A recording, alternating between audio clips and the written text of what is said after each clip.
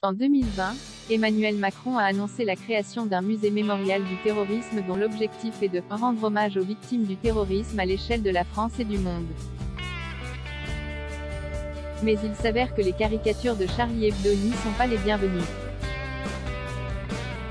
L'analyse d'Elisabeth Lévy sur Sud Radio.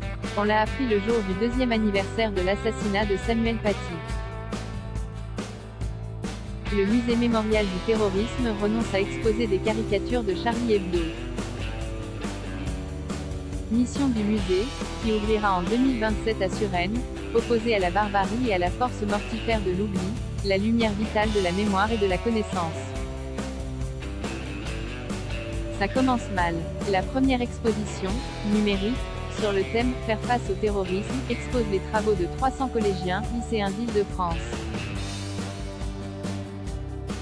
Mais le directeur, Henri Rousseau, a éliminé les œuvres qui comportaient des caricatures de Charlie Hebdo, utilisées par deux établissements.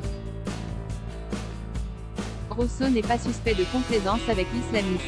Il veut protéger les élèves et les profs risque réel, alors que des professeurs sont de nouveau menacés. Oui, nous avons peur, mais la peur doit-elle être notre loi? Pour ces dessins charmes, Cabu et les autres ont été assassinés.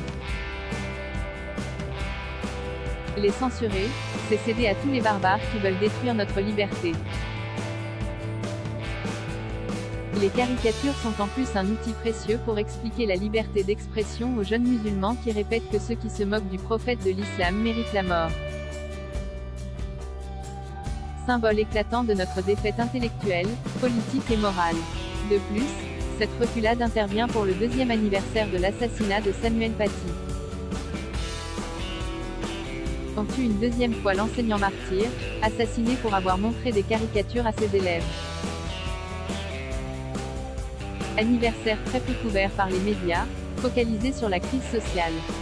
Comme si on ne se nourrissait que de pain. Bien sûr, un prix Paty, des places Paty, équivalent des nounours et des bougies. Mais nous continuons à ne pas boire, à nous raconter que c'est une toute petite minorité et à dire que ce n'est pas bien de se moquer des religions. En France on a le droit de se moquer de tous les dieux, et ceux à qui ça déplaît n'ont qu'à aller vivre ailleurs. Bien sûr, un prix Paty, des places Paty, des rues Paty. Équivalent des nounours et des bougies.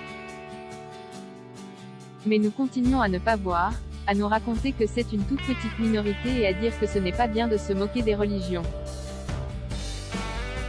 En France on a le droit de se moquer de tous les dieux, et ceux à qui ça déplaît n'ont qu'à aller vivre ailleurs. Voilà ce qu'on devrait dire, de l'Élysée aux salles de classe.